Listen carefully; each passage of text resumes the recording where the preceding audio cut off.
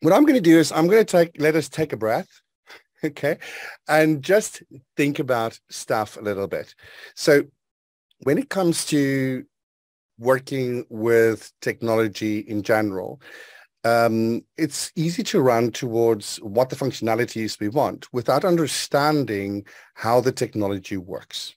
Now, I come from a background of IT, so I've been working in the world of bringing technology and, and consumers together, and that was my life for a very long time, and understanding consumer dynamics and, and customer experience. Now I do that my job. So when the shit hits the fan, people call me. And tonight I'm here to say, well, when the shit hits the fan, there's always a solution. All right. So um, pardon my French for the people that know that word.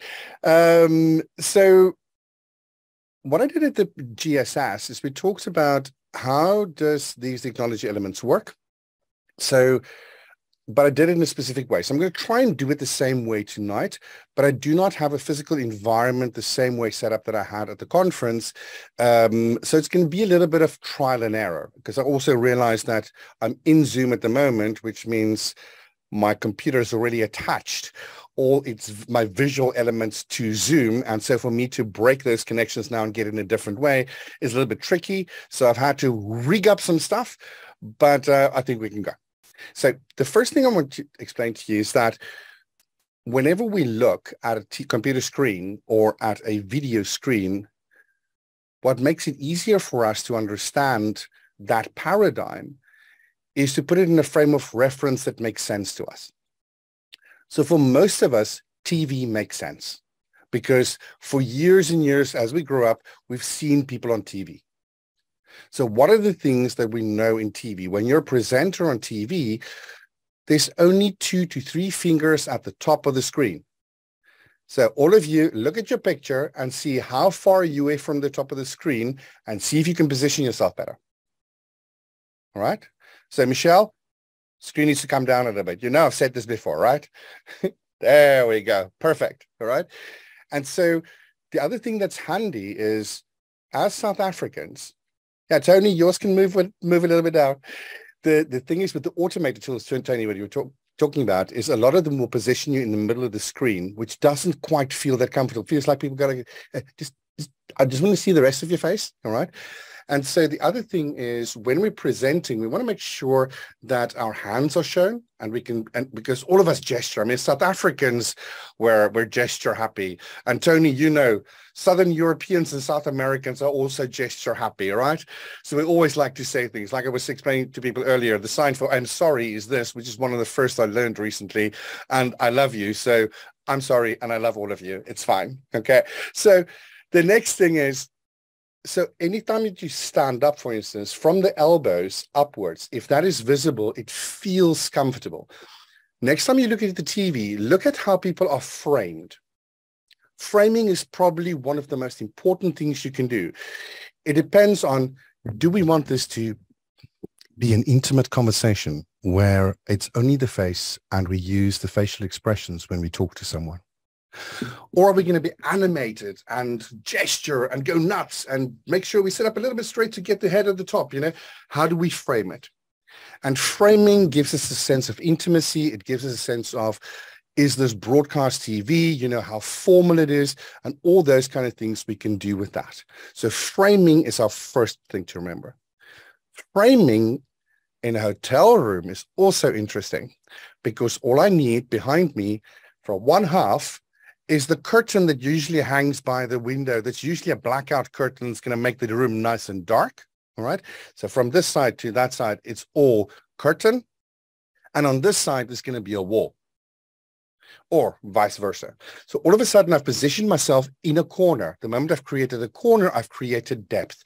The moment I have something behind me, I can go slightly off center, put a little bedside table back there and get a flower from downstairs at reception. You say, well, can I steal one of these lilies just for an hour or two?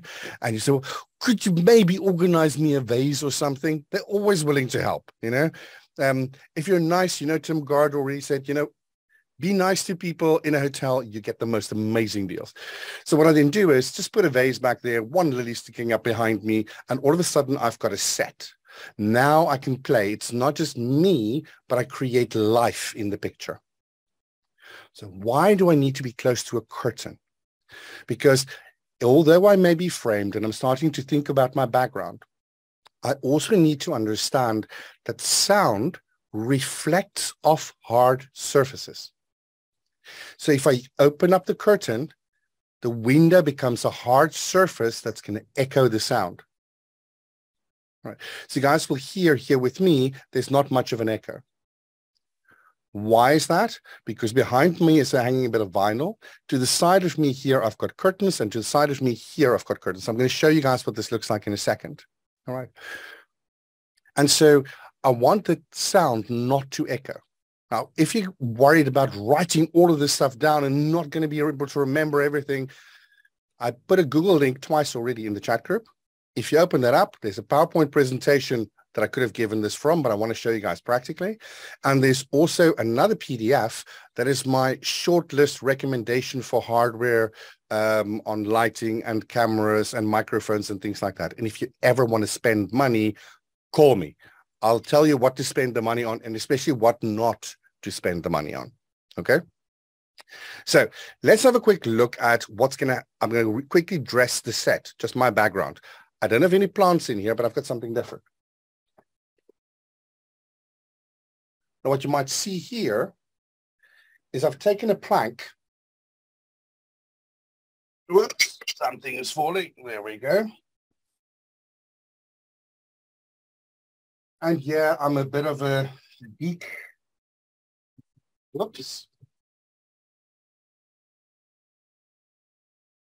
I have a toolboxes, you know, sort of like the stuff you, you put your drills and hammers and all that kind of stuff in, and they're on little wheels.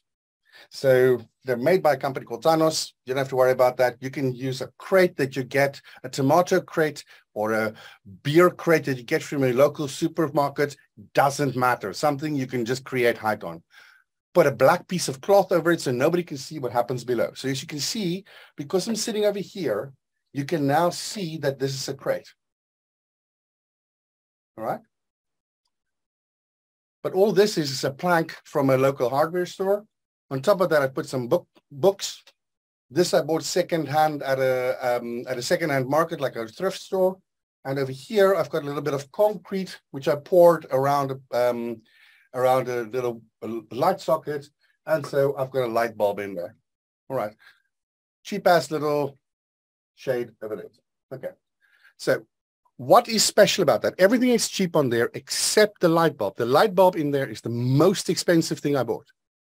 Now, the reason I bought that is because it's from a brand called Aputure. And Aputure makes really amazing lights that are color accurate.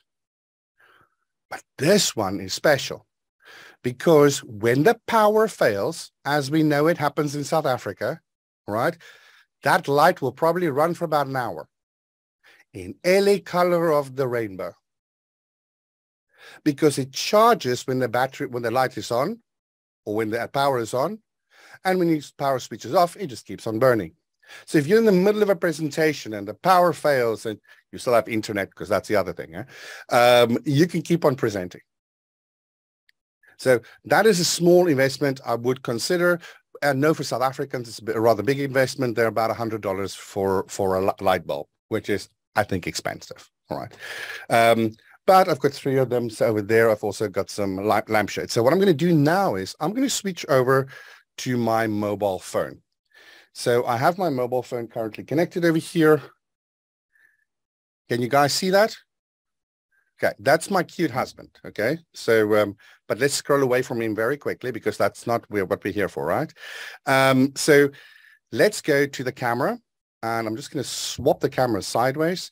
There are other ways of doing this as well, which we can talk about in a second, but I just want to show you, it's not about bragging about the whole setup. It's more a case of I want to show you what it looks like when you basically have a door over there. And all I did is I put a moving blanket in front of the door to trap the sound so it doesn't travel into the hallway. And it also, because it's heavy, it means it removes a lot of the sound from outside.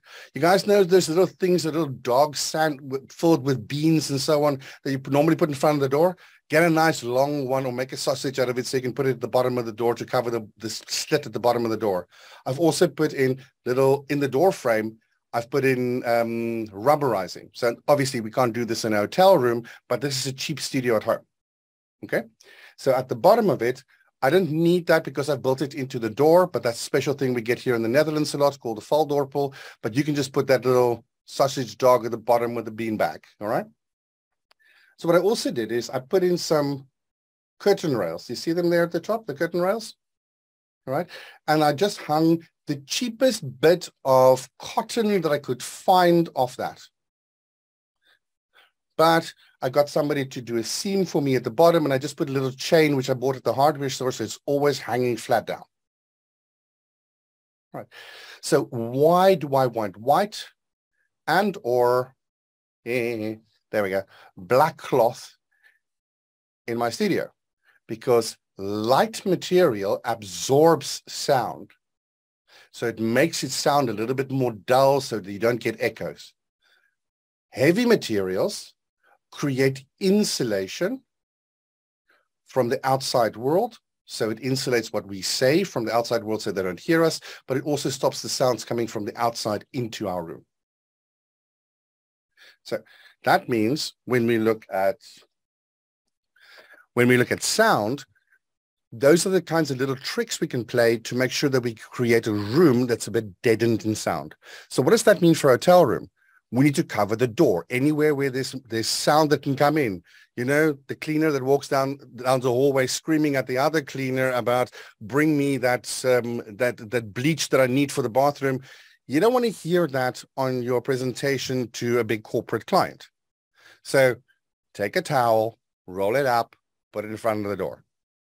Simple, easy. If you want to add a bit of weight, put your suitcase against it. You know, just think about where are the gaps and how do you dampen the sound.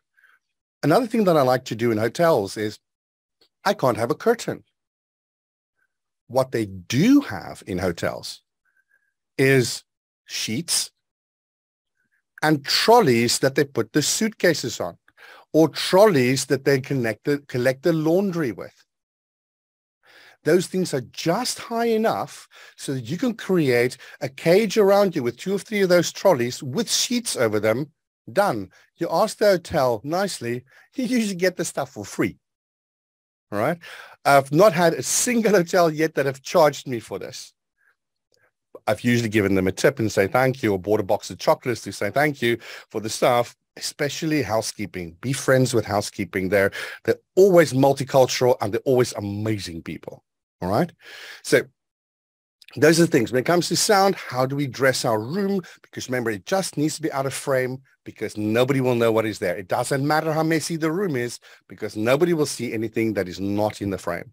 Create some interest in the background and we're ready to go. Now, what I've got here is horrible light, just the light shining from me from the top. All right. So the thing I need to do with lighting is I need to make sure that the lighting comes to me in the right space. I haven't see, I haven't talked about cameras at all yet. I haven't talked about 4K and 6K and 8K and all this amazingly expensive stuff. This is what you can do with a mobile phone. You don't need anything more than that right now. And remember, your mobile phone is better. The camera is better than the one on your laptop. Okay. So if you want to get that quality into your computer, there are different ways of doing it. What I just showed you is a slightly more expensive way because I brought it in through a, um, an HDMI connection. But I will show you on my mobile phone, there's a little cable that I can have an HDMI connection on. And that HDMI connector there, let me just put it in front of my face so it zooms. There we go. On that HDMI connector, next to it, I've got a power connector. So my phone keeps on charging. That HDMI connector, I can connect to something like an eCam that brings into my computer. I can connect that to an ATEM Mini or anything like that. Or if none of this works, I can run my camera, just my camera, to be my secondary person that I'm in the Zoom call with. So I go in there with my computer, but I go in there for my camera, for my face with this. Or if I can get my camera connected to my computer, and how do we do that? We share the data connection, right? So the moment I can tether my phone to my computer, they're on the same network. And the moment they're on the same network, I can use software to bring my camera's view into Zoom. It's called EpocCam. E-P-O-C-C-A-M is from a company called Elgato, which I'm sure you've heard of before. Right. So now I haven't bought a new laptop. I still have the one that I use. Or if I don't have a laptop, I can just use my mobile phone. I can have the camera set up. I can dress my view because I can decide how I want to do it. And if I want to do that with a camera, I might need some way of holding this up. So I can use a small little tripod, tripod with a little clip on it.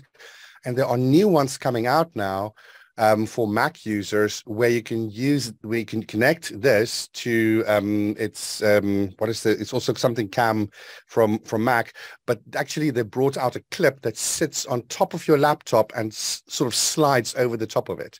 So it puts the camera in the right height. So the most important thing is when we put up the camera, it needs to be eye height. So if your laptop is down here, they're always going to look up front for you. And I have a few extra pounds to the point where I'm getting surgery next year to get a few things removed. So I know what it feels like to have a double chin and turn it into quadruple chin when the camera comes from below. So just make sure you bring it up so it's eye height. And that also means you're talking to somebody as a peer. The moment they look down on you, there's an inferior relationship. The moment um, they look up at you, you're creating a superior environment, but it's also doesn't, it's not very flattering view right? So if you have an eye height slightly above, it's fine, right? Just so that it feels like we're having a conversation and it doesn't feel like, oh my God, who are you, you know, or um, what the hell are you doing down there, you know? All right. So now we've talked a little bit about treating the room for sound. We've talked about creating interest. We've talked about framing. So the next thing I want to talk to you about is placement of your microphone. So when you guys, what you guys would have heard is I would have spoken a little bit louder as I was moving away from the microphone and it would have been more difficult to follow because I'm not near the microphone. So if I turn my head and I speak over there, again, the microphone is not picking up that great. So the, the trick with that is when, especially when we have noisy environments, the most important thing to do is the quality of the mic is less important than the placement of it. All right. So I want to put the microphone as close as I possibly can to my mouth without having it in it. All right? So as close as possible. Normally we say about 20 centimeters. Right. If you're going to have something like this, which is one of those really bassy microphones, and you really want it really close to your mouth, so you can do that radio proximity effect. And unfortunately, I don't have the right accent, so I can get can't get Jonita all excited, but I'll try. so, well, that's what my husband used to say to me. So let's see where that goes. anyway, so what you will see here is I have at the end of this, there is a gray and a white little connector. Do you see that? Now, the thing to understand about microphones is microphones is mono. It's not stereo. Okay.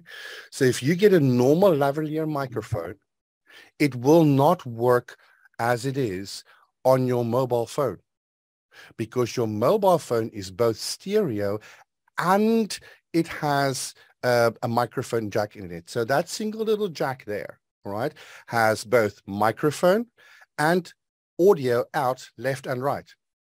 So you need some form of converter. Now, if you're into the Rode, like Rode microphone stuff, you can get a little cable like this.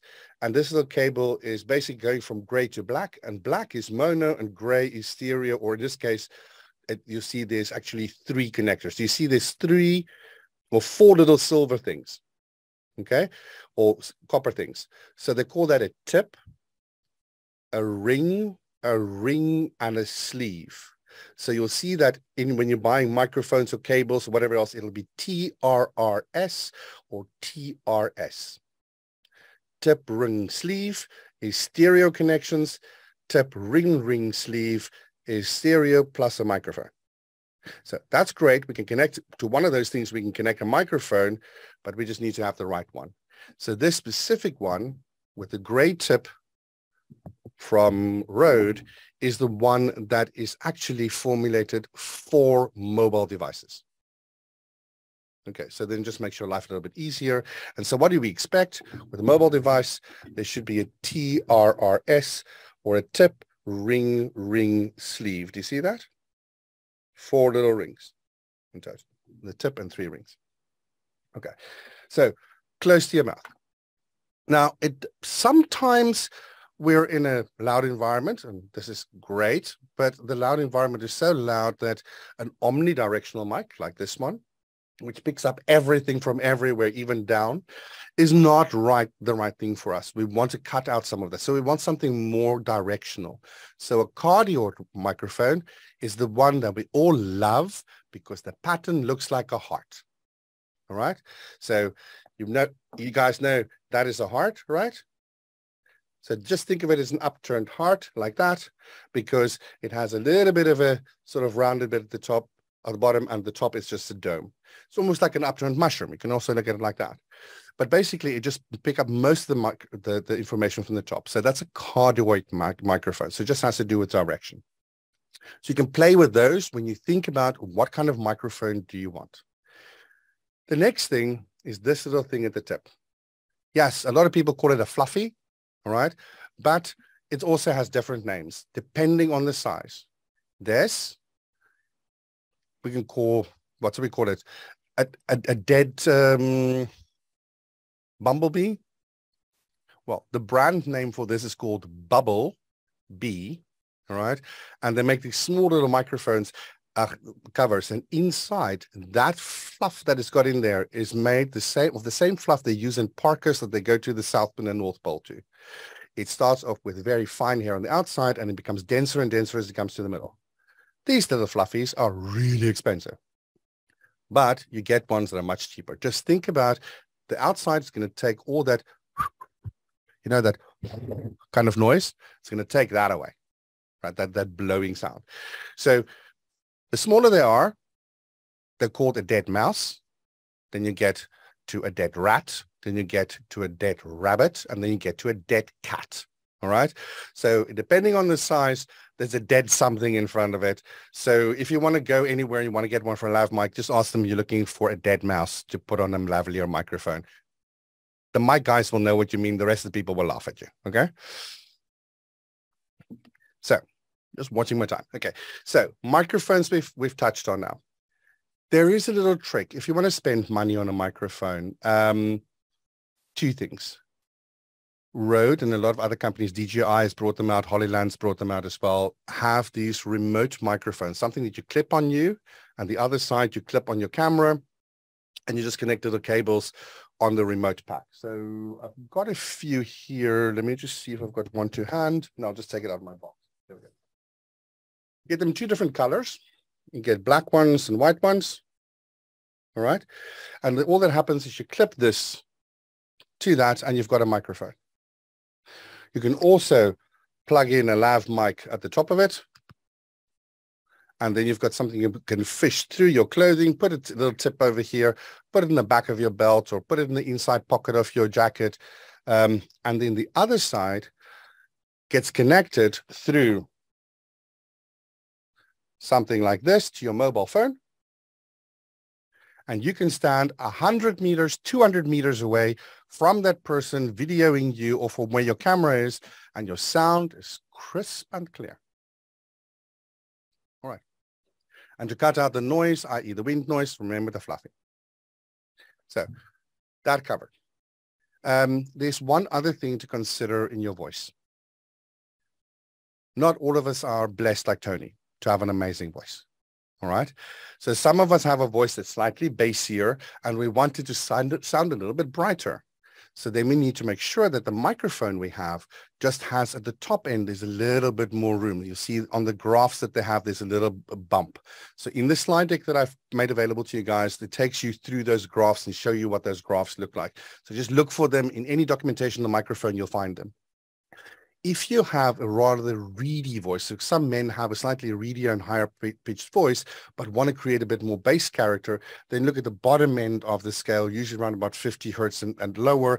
You want to create that it needs to be dropping off a little bit there. So or uh, have, have has a bump, so it makes it make it more volume, or if it drops down, it it it, it cuts those bass sounds.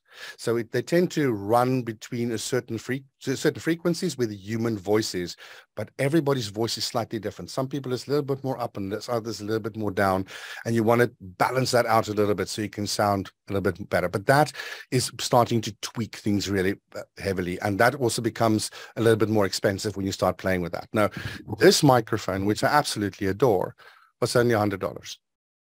Okay. There are much better, nicer microphones than this, but I enjoy this one. I work well with it and I love it.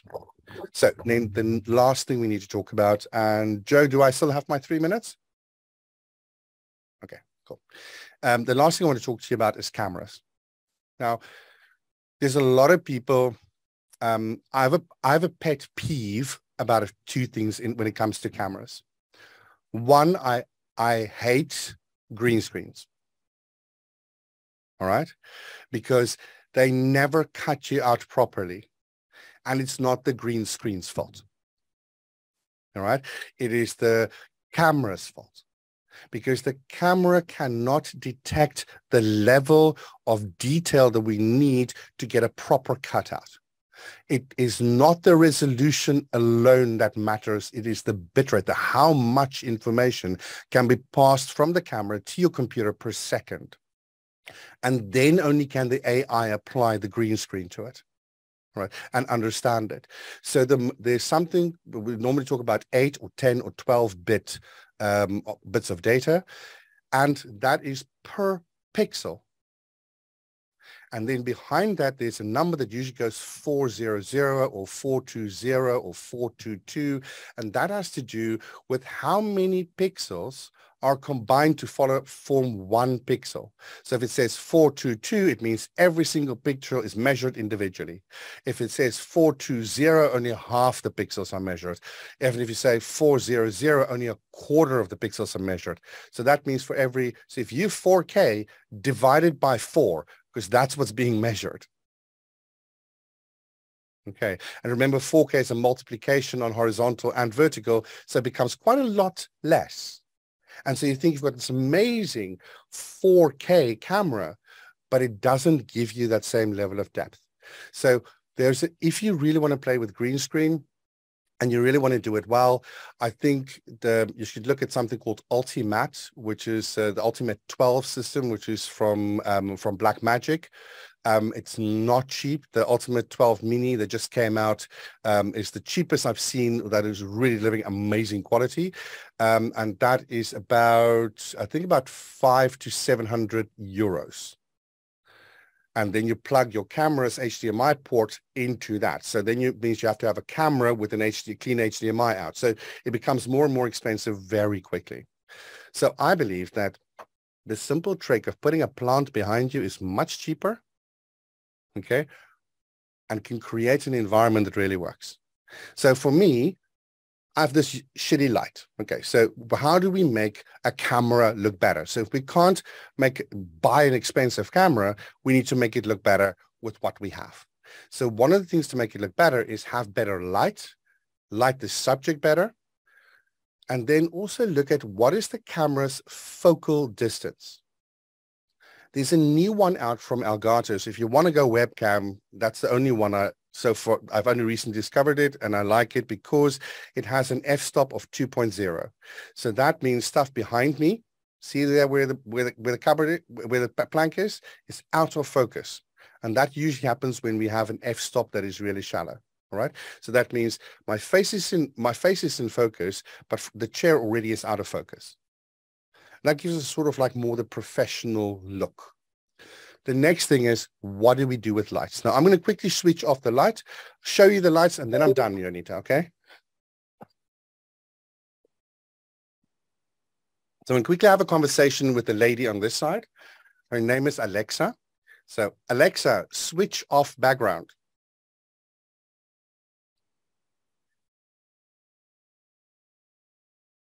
Alexa, switch off hair. Yeah, that's the hair light. Alexa, switch off background. That doesn't work. I always have a manual override. There we go. So now everything goes grainy because there's not enough light. All right. So the next thing we do is we say, well, we need some light on the subject. Now to light a subject, um, the first thing we need is a key light. Now, key light creates a pattern on the face. So depending on where I put the light is going to create a pattern. So if I put a, light just on the one side of my face, like there, then this side's going to be a shadow. Okay, half lit. If I shine it from the top, I get a little black little line here that my my nose is going to form over my upper lip. So then my the nostrils combined with that little black bit there creates the shape of a butterfly was very popular in the 1950s to light women like that way. You know, horror movies, you'll see them from the 1950s. It's called the butterfly one. And then Rembrandt van Rijn. So the, the guys, when you guys come to Amsterdam to visit me, I'll go take you to Rembrandt studio and you'll see where the window is placed and where he puts his subjects. And the light comes in from the one side so that mm-hmm. the tip of the nose casts a shadow just over the cheek here, but it leaves a little bit of a kiss of light on the one side. And that's what I, the one that I like the most. So what I'm going to do is I'm going to show you um, how I've set up mine here.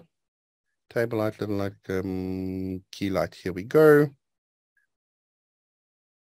So my camera just needs to quickly adjust.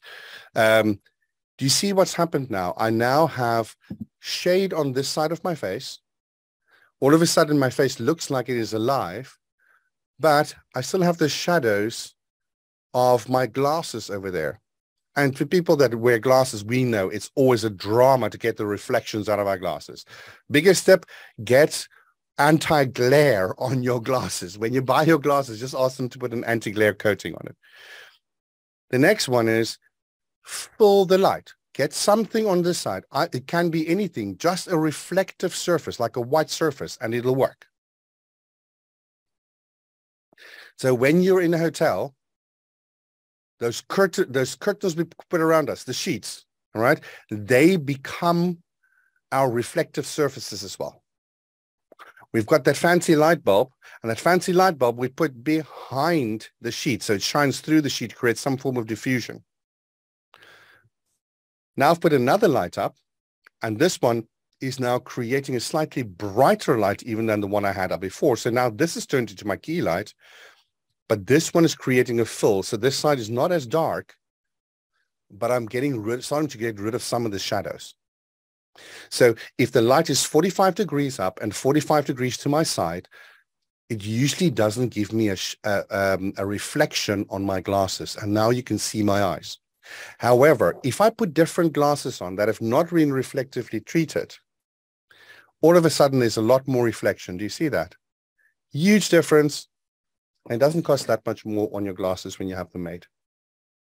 So then the last thing on lighting, um, I just want to switch this on. If you add a light on your hair, all of a sudden people like me with gray hair get lovely sun-kissed color.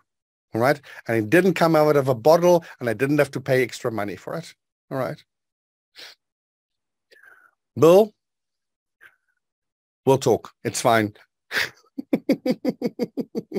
but having a little bit of a sunlight on there creates this warm effect.